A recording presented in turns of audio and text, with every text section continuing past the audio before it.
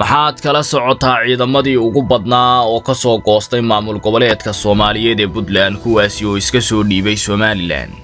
waa imisaa tirada ciidanka lagu qarameeyey bariga gobolka sanaag maxaa keenay in ciidankani ay isku soo biiraan jamhuuriyadda somalilan iyaga iyo deegaamadoodu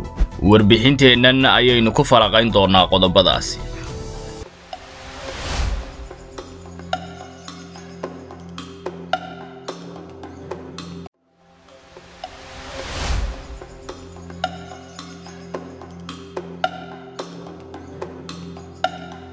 deegaanka bariga fog ee gobolka sanaag ayaa ku soo gantamaya jamhuuriyadda somalilan kadib markii ay arkeen saami qaybsi dheeli tiran oo ay xukuumadda madaxweyne muuse biixi cabdi horseed ka tahay.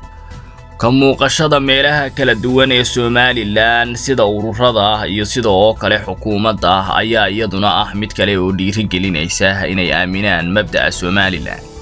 muddooyinkii ugu dambeysay waxaa ku sugnaa bariga fog ee gobolka sanaag laba wasiir oo ka tirsan xukuumadda madaxweyne muuse biixi cabdi kuwaasi oo u gogol xaadhayay dadka u soo digo roganaya. Qadiyadda jamhuuriyadda somalilan oo ay awalba ka mid ahaayeen. Waxaana ay deegaamadaasi si weyn ugu xaragoonayeen muddooyinkii ugu dambeysay calanka tawxiidka leh ee jamhuuriyadda somalilan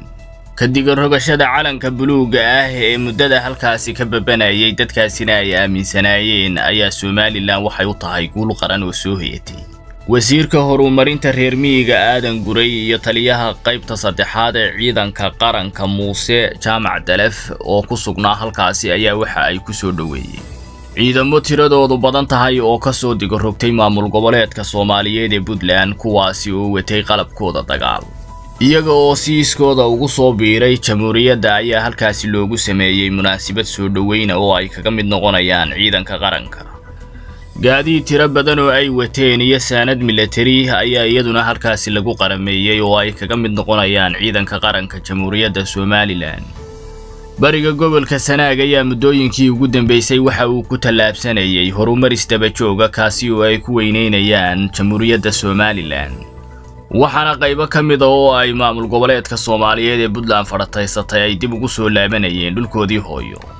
Xukuumadda uu madaxweyne biixi garwadeenka u yahay ayaa waxa ay dadaal ku bixinaysaa sidii ay xuduudaha somalilan ay la wadaagto waddanka soomaaliya u soo xidhi lahayd iyo weliba inay deegaamada salowgu ku jiro dhinaca saami qaybsiga ah ee bariga somalilan ku qancaan jamhuuriyadda somalilan iyo jiritaankeeda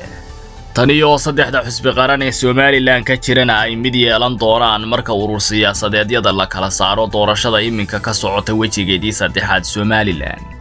waxaana halkaasi ku dhammaystirmi doona midnimada iyo wadajirka jamhuuriyadda somalilan ka farxi ehelkaaga asxaabtaada iyo qaraabadaada.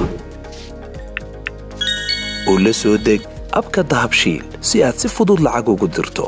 Marka aad la soo degto ablicathonka dahabshiil ee aad lacag ka dirayso isticmaal koorka khadmad la'aanta ee tree free oo kuu sahlaya in saddexda jeer ee ugu horreeya ee aad lacag dirayso aan wax khadmad ah lagaa qaadin dahabshiil howlfudaydiyahaaga maaliyadeed